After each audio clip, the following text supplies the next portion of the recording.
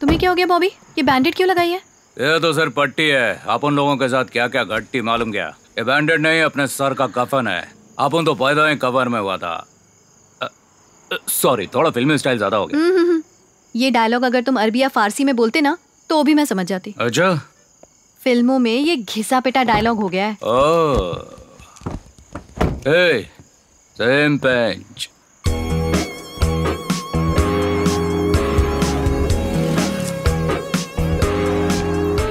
माँ कहती है कि दुनिया में हर किसी की सात कार्बन कॉपीज होती हैं। दो तो मेरे सामने ही हैं। अ,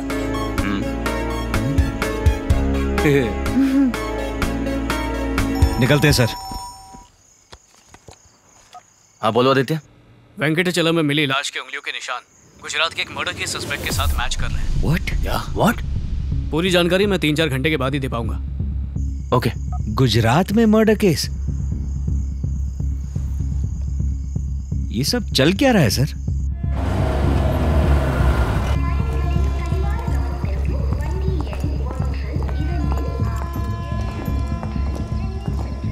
हेलो सर मैं नेलोर का सब इंस्पेक्टर मुझे कुछ इन्फॉर्मेशन चाहिए थी। बोलिए। एक मालगाड़ी स्टेशन से रात दस बजे निकलती है ना? हाँ। जो दिल्ली जाती है? तो? तो जब वो यहाँ रुकती है तो क्या उसमें इलीगल एक्टिविटीज़ मेरा मतलब यहाँ कौन आएगा सर? मैं कई सालों से स्टेशन का इंचार्ज हूँ। वो मालगाड़ी यहाँ तीस मिनट के लिए रुकती थी पर मेरे सामने तो कभी कोई गलत काम नहीं हुआ सर। गोपालम?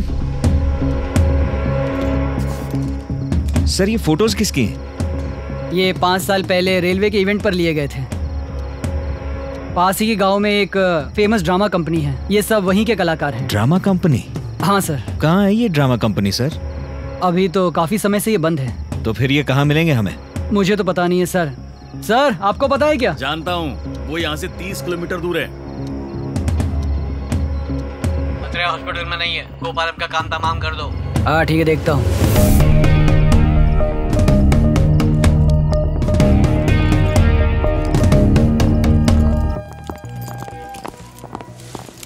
मैंने विस्की मंगवाई थी तू बियर क्यों ले आया? ये गलत बात है मैं सबको बता दूँगा। हाँ मेरी बात माना कर। पुलिस! पुलिस! पुलिस! हाँ? हाँ। कौन हो तुम? पुलिस को बुला रहे थे ना। हाँ?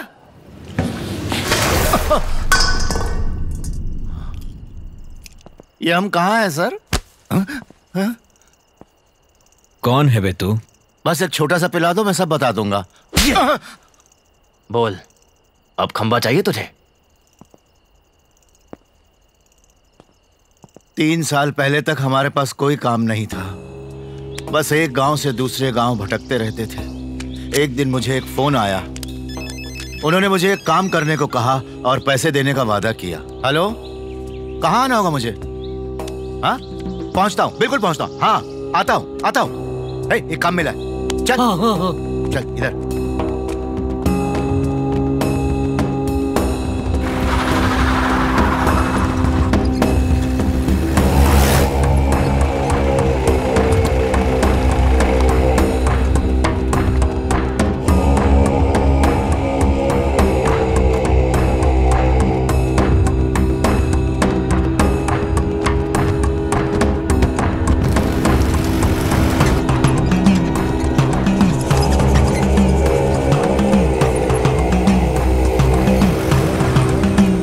हमसे कहा गया था कि हमें उन लाशों को स्टेट बॉर्डर तक ले जाना है और उन्हें चुपके से जंगल में जला देना है।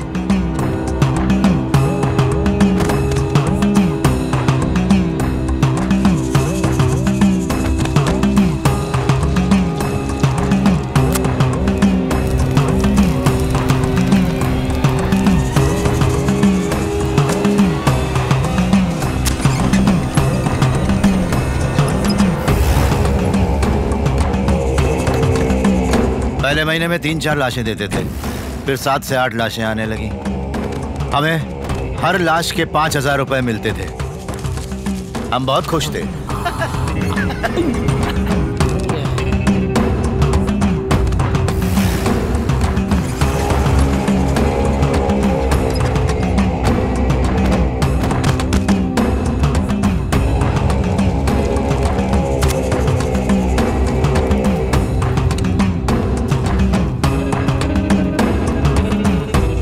पर एक दिन हमेशा की तरह जंगल में लाश जलाते हुए फॉरेस्ट पुलिस ने हमें देख लिया। सायरन की आवाज़ सुनकर हम किसी तरह से वहाँ से भाग निकले। जिन्होंने हमें काम सौंपा था उनको पता चल गया। एक काम करो कुछ दिन के लिए ये काम बंद कर दो। हाँ ठीक है आप चिंता मत करो। आप जैसा कहते हो मैं वैसे ही करूँगा। हम लोग जो छोटी मोटी चोरियाँ करके किसी तरह गुजारा कर लेते थे हमें वो काम करके अच्छे पैसे मिल जाते थे लेकिन वो सब पैसे आने बंद हो गए थे। हमें बहुत चिंता होने लगी थी। उसके ठीक दो हफ़्ते बाद मुझे एक फ़ोन आया। इस बार उन लाशों को जलाने के बजाय हम उन्हें एक दूसरी वैन तक ले जाते थे।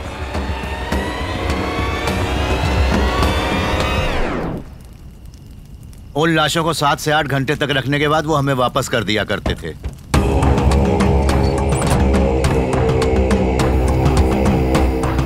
लाशों को हमारे बताए हुए ठिकानों पर जमा करो। और हफ़्ते में एक बार उनको ठिकाने लगाओ।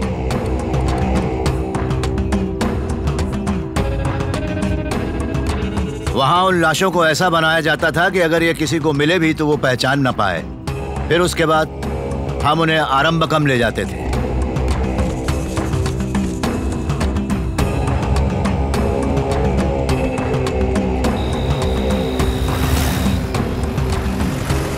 दिल्ली जाने वाली मालगाड़ी आरंभकम पर 30 मिनट के लिए रुकती थी। हम लाशों को वहाँ लेकर जाते थे। वहाँ हम उन्हें ट्रेन पर चढ़ाते थे और बॉर्डर पार करने के बाद उन्हें अलग अलग जगह फेंक दिया करते थे।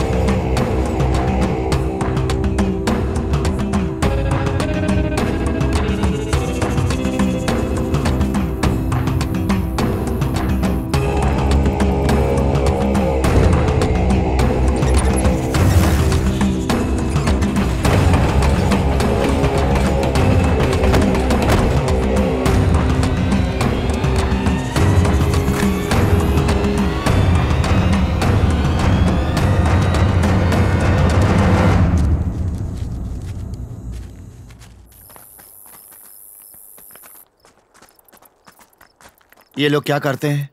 ये सब क्यों कर रहे हैं? ये लाशें कहाँ से आती हैं? हमें यह सब पता नहीं होता था। ना हमने कभी पूछने की हिम्मत भी की। पर एक दिन हम आखिर समझ गए असली खेल क्या है। आप इनका दाह संस्कार करके अस्थियाँ गंगा में बहा देना।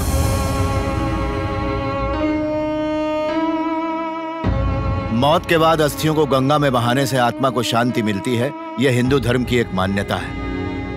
अगर अंतिम संस्कार गंगा में काशी घाट पर हो तो आत्मा सीधे स्वर्ग में जाती है। वो पुनर्जन्म के चक्कर से मुक्त हो जाती है। ये भी एक मान्यता है। कुछ लोग इन चीज़ों पर बहुत विश्वास करते हैं, पर उनके पास लाश को काशी ले जाकर अंतिम संस्कार करवाने के लिए पैसे नहीं होते। वो मासूम लोग जो काशी घाट नहीं जा पाते थे, वही इनके शिकार थे। हम समझ गए ये लोग क्या कर रहे हैं। गाँव वालों का भरोसा जीतने के लिए लाश को ले जाने से पहले हम पूजा करने का भी नाटक करते थे। लाशों पर माँ दुर्गा का एक तावीज भी बाँध दिया करते थे। लोगों को हम पर विश्वास बढ़ने लगा।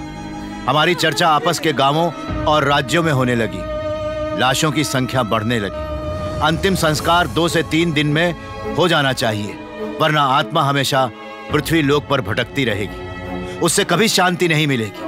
उन्हें भरोसा दिलाया जाता था कि लाशों को काशी ले जाएँगे। लेकिन उनसे पैसे लेकर उन लाशों को ट्रेन से बाहर फेंक दिया जाता था।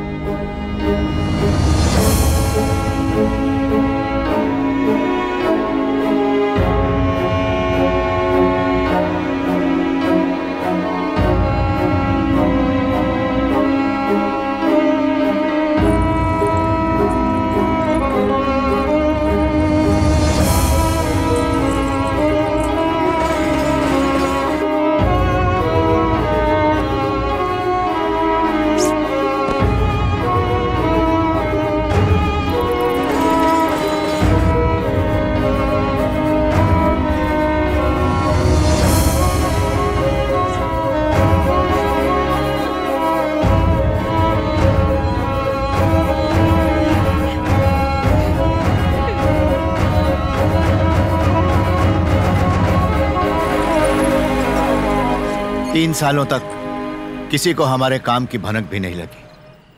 पिछले महीने मैं अचानक बीमार पड़ गया। दो हफ़्ते के लिए मुझे हॉस्पिटल में रखा गया। जो लाशें हमारे पास थीं, वो दस दिनों से गोडाउन में सड़ रही थी। मुझे एक फ़ोन आया और वो कह रहे थे, हम और इंतज़ार नहीं कर सकते। लेकिन मैं हॉस्पिटल से जा नहीं सकता था। मैंने अपनी जगह किसी और को भेज दिया। पर पता नहीं जिसको भेजा था वो घर नहीं लौटा। और उसके बाद मुझे एक फ़ोन आया और उन लोगों ने कहा कि काम कुछ दिनों के लिए रोकना होगा। इतना ही नहीं उन्होंने मुझे तीन नंबर्स भेजे। एक लापता लड़की की फ़ोटो दी फिर मुझसे कहा कि एक कहानी बनाकर तुम्हें सुनानी है। मेरा यकीन करो यही सच है बाबू। फ़ोन करने वाले का नाम क्या है? मैं नहीं जानता बाबू। और उन बॉडीज को वैन में क्यों शिफ्ट करते हैं? मुझे नहीं पता। तुम्हें नहीं पता वो कौन है? मुझे तो हमेशा किसी लैंडलाइन से ही फ़ोन आते थे बाबू। वो लोग कौन है और क्या करते हैं? कितने लोग इसमें शामिल हैं? मुझे कुछ भी नहीं पता। और मैं ये भी नहीं जानता कि वो लोग वैन में उन लाशों के साथ क्या करते हैं। सच में बाबू? लेट्स गो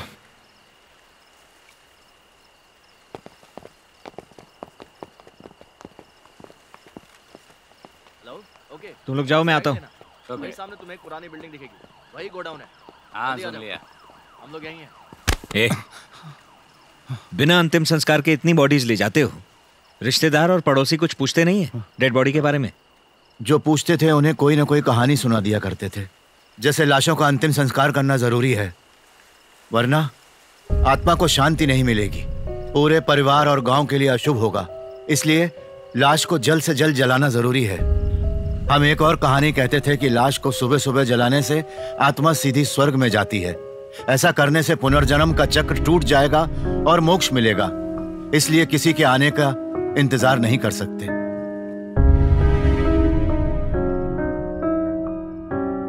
मगर ये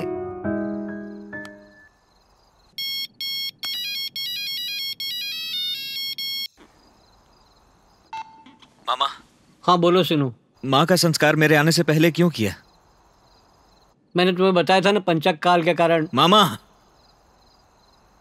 सच बोलो ना यार। वो कह रहे थे तुम्हारी माँ को काशी ले जाने के लिए।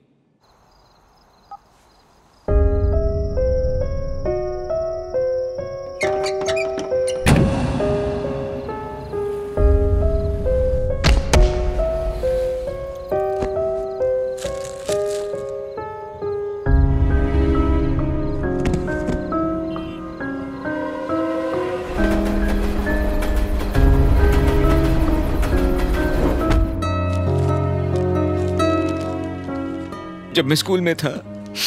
मैंने माँ को चिट्ठी लिखी थी कि मुझे अकेले हॉस्टल में डर लगता है। वो दो दिन में मेरे पास आ गई थी।